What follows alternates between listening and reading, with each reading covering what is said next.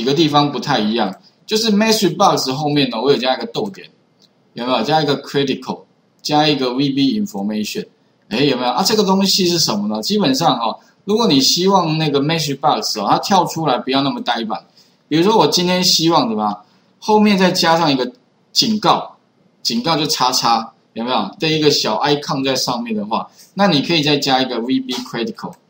这个就是它会有个警告哦，OK，我试一下给各位看一下，比如这边没输对不对？新增，哎，有没有看到？叉叉，OK 哈。那另外的话呢，还有什么呢？哎，比如说我今天这个逗点后面的话呢，所以你在这边看逗点啊，后面就一串。那至于说里面哈，大家或者 VB information，information 感觉就没有威胁性这么大。为什么？因为如果说我这边输入的，哎哎哎，好。然后这个，假如说这一个没输入的话，它就会跳出惊叹号。刚刚是叉叉嘛，叉叉感觉好像就是会很有那种威胁的感觉。那惊叹号有点警，就是呃警告一下，感觉稍微温和一点点嘛。OK，所以这也是一种图示啦，哈，看图会比较知道。不然的话，如果你只是单单只有文字，感觉不是那么明显。啊，前面这东西就是逗点后面的东西。啊，但是这个非必要，只是感觉有了一个图哦，就会感觉有稍微温度多一点点吧，哈。不然现在大家还是喜欢看图为主吧。你说写一大堆东西，说真的也没有人真的认真看，但是看到惊叹号，看到叉叉哦，就知道意思了，对哈。那另外的话呢，哈，呃，还有就是说，诶，另外这个到底要加什么哦？其实你逗点发现后面就会一堆啦。不过跟各位讲一下哈。这嗯，其他不见得每个都需要用到。那刚好那个 微软很奇怪，它就是其实应该你在选的时候应该有图在旁边就知道了，可是它就是没有。那怎么办呢？如果不知道，像我以前做法就是，反正我就试一下嘛，然后让它跳出来看我就知道，然后我选择要不要。不过几乎都乱过了，最后发现只有大概两个可以用了，这个叉叉跟惊叹号。好，所以如果你有时间比较多的话，你可以自己踹踹看。OK，大概这两个哈，那其他的话要不要加，那就看各位了哈。你就直接逗点，它会跳出来，呃，V V Critical OK 哈。那另外的话呢，刚刚我这边哈，呃，VBA 点后面那个 is numeric 啊，当然你如果按 F1，它也会跳说明的哈，就是判断说你给它的资料里面是不是数字。那我们主要是要挡下不是数字，哎。输入输入不是数字的，所以呢，不是数字有两种表示方法，等于 false，或者另外一个是什么？不等于 true。两个方法一不一样？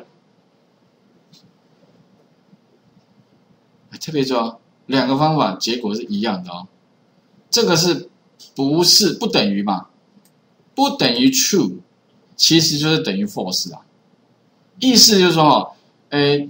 前面的这个东西不是不是数字的意思啊，不等于 true 就是不是真的，不是数字的意思哦。啊，等于 false 呢，也就是直接不是了。所以刚刚等于 false 就是直接是否，那这个是什么？不是真。哎，不是真跟否一不一样？好，逻辑上是一样的哦。OK 啊，那至于哈习惯写哪一个哈，你就看自己习惯吧哈。如果不是啊，不等于好处啊，因为我云端上面是写这样嘛，啊，我刚刚写这样，我怕我，所以我先讲一下，不然我同学老师为什么你又写两种方法又不一样？到底哪一个才是对的？两个都对，OK，那就看你习惯哪一种。好，应该可以知道我意思吧？哈，因为说真的，学程式最麻烦的地方就是每个人都写的不一样，而且呢，更奇妙的是同一个人写的。时间点不一样，写出来也又不一样，好，那你说怎么办？就是麻烦的地方了。但你也不用说 confuse 什么了，反正你就是知道意思就好了。哦，OK，就像你不能限制说每个人讲话，今天讲这样，明天也要一模一样。说真的，我上课就像我今天上的课跟我下一集上的课，怎么可能会一模一样？又不是 copy，我也很希望 copy 贴上就好了。但问题。绝对不可能，因为人哈还是或多或少会有那种模糊的空间哈，就跟 AI 一样，AI 其实最麻烦的地方它没有模糊空间，所以你要帮它有模糊空间，所以它有深度学习。但是基本上呢，很模糊的东西，它还是没办法判断，所以以后的机器很麻烦。除非你要跟他讲说，哦，这个如果是模糊空间，你要用哪一个才是对的，你还要再训练它。OK，啊，训练到某一个程度，它可能会，但是它还是没有办法像人这么的模糊空间这么大啊。哦，所以以后它比较适用在那种很精确、比较相对于逻辑很精确的那个事情上面，像这种东西啦，没有用电脑来做就非常适合。但是如果用人来做，人都会觉得啊好麻烦，要判断这么多事情，很哦。所以呃，刚刚这个部分哦，还有就是这边偶尔，其实这个逻辑你也可以写成 and 哦。OK 哈，只是说用偶尔可能比较比较方便一些些。那写完之后的话呢，我们基本上防呆就做完了。那再来的话哈，最后理论上应该这样子，我们就应该就 OK 了哈。不过好像还有个地方，这个小数点啊，算了，这个小数点其实也可以改哈。那最后的话呢，我们就是再输入，好，确认没有问题的话，那应该这样子就大功告成了。但是最后还有一个地方，好像还是不够完美。比如说第一个。Enter 过之后有没有？再 Enter，还要再多一个 Enter，那就有同学说：“那老师，你这个地方哈，可不可以直接怎么样？直接干脆哈，我就直接打到这边之后哦，我可不可以不要多按个 Enter？我直接怎么样？直接在这边按 Enter，它就自动资料过来了，它就不用再跳到新增这边才能够 Enter。那怎么做哈？特别注意哦，最后如果说哦，其实。这个地方如果不要让它再多按一个，因为 Enter 其实实际上是跳到这边，那我们可以怎么做？首先第一个，主要的问题在这里，就是当我在这一个 Test Box 上面哈，如果被按下 Enter 的话，那我就直接去执行新增按钮了，我就不用再跳过来了。OK，那怎么做？第一个，你在这个 Test Box 点两下，点两下之后的话哈，特别注意哦。它的事件我讲过哦，事件是追踪，就是去侦测说，哎，你到底啊什么状态发生的时候要执行程式？哎，他说是不是劝局呢？当然不是啊，我按 Enter 哦，Enter 的话，实际上哈，请特别注意哦，事件在这里，里面的话哈，就是当我在那个呃 Testbar 的四上面哈，应该是按下某个按键的时候，哪个按键呢？有没有？它里面的话还有一个叫什么 Key？有没有按键被什么被按下去？所以它叫 key down。OK，啊 key press 是被按住，key up 是放开的 release。所以基本上哈，我们应该选择的是，当我按下那个按键的时候啊，所以选这个好，把 change 哈。所以你会发现它要多一个事件呢，把这个上面这个把它 delete 掉，不需要 OK 哈。然后再来的话呢，当那个 test bar 四哈被按下按键。可是问题哦，它按下按键，每个按键都会触发这个事件。那我们只要针对是 Enter 那个，再去做对应的程式就可以了哈。所以特别注意哦。那他怎么告诉你说他按下的按键哦是 Enter 呢？它可以哈透过 Key Code。所以呢特别注意哦，我这边底下第一步哦，就是你在那个我们这边这边点两下，把这个改成 Key Down。第二个的话呢，就是。做一个逻辑判断，如果什么呢？它的 key code，code 指的是那个按键哦，按下 enter 啊，特别注意哦，这个 enter 键哦，在我们内码里面刚好是数字，刚好是排在第十三。那你怎么知道是排第十三？其实哈，在计算机概论以前，如果你没有修过 ASCII ASCII code。就是那个美国人设计键盘的对应的那个位置的时候啊，它会有一个 ASCII code 的内码。那实际这个地方里面哈，我们扫一个 ASCII 这个彩色这个，那你会发现呢，它把那个 Enter 放在哪一个？Enter 放在这一个 Return 有没有？就是放在它的那个哦，就是十进位的话是第十三。那这个十三实际上就是它的 Key code。所以哦，如果他按下按键嘛，ASCII 内码表它里面是十三的话，所以我们可以，呃，如果他按下的 key code 是十三，意思他按 Enter 的意思，应该可以懂我的意思哈。Then，好，所以这边打一个，然后然后做什么呢？End if，如果呢，他按下十三，好，那我们应该怎么样？就直接让他去执行那个什么，那个新增的那个 sub 就好了啊。那个新增的 sub 叫什么名称？就是叫这个这个名称，sub 后面这个名称。所以你直接怎么样，把这个名称哈复制起来。OK，复制之后的话，包含就不要包含刮胡 sub 到那个刮胡前面哈，然后你就是 call。打一个 call 就可以了，呼叫那个新增的那个 sub 名称打上去，就叫 command button 一被 click，OK，好，这样就完成了，应该可以懂我的意思啦。啊，所以如果说你希望按 enter 就直接转移变成按新增的话，那只要写这样就可以了。好啊，这个 key call 哦，主要是是什么？就是透过 ASCII 内码，所以以后如果你要查到它是按别的按键的，你也可以用同样的方式去做逻辑判断。OK 哈，好，那这个地方的话，我们来试一下，如果 OK 的话，那表示应该就成功了。H L 哈，好 L Enter，然后输入输入输输入，其实它这个 key down 如果输入，它应它也侦测到啊，只是说它只有按 Enter 是十三，它才会有作用哦。所以最后我们来看，刚刚按 Enter 啊，它会跳到这边来。但现在 Enter 会不会呢？看一下，如果按 Enter 可以的话，那应该就很好用了。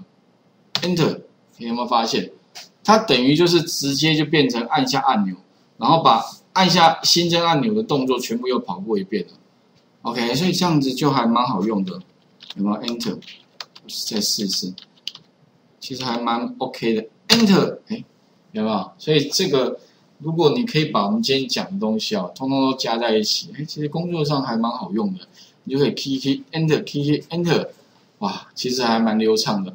但是呢，其实之前我本来讲教到这边就 OK 了哈，但是其实还有一些地方不够好。如果程式永远写不完啊，永远好。就有同学说，老师，那你之前不是讲过吗？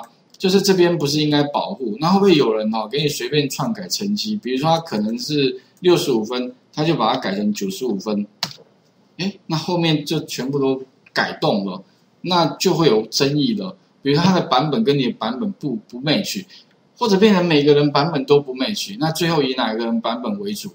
哇，那就会有问题了。而且有些人有些人的版本可能是你的主管，对你的主管的版本，他是改，那你你怎么办呢？你要以你的还以他的呢？哦，那就有争议了。所以怎么办？应该是啊，教育里面哈有一个什么呢？保护工作表，那你应该怎么加上密码？有没有把它密码保护起来？但问题来了，启动表单，输入资料，这样会不会成功呢？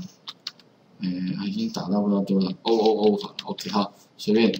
好，这个时候呢，如果我输入资料，会成功吗？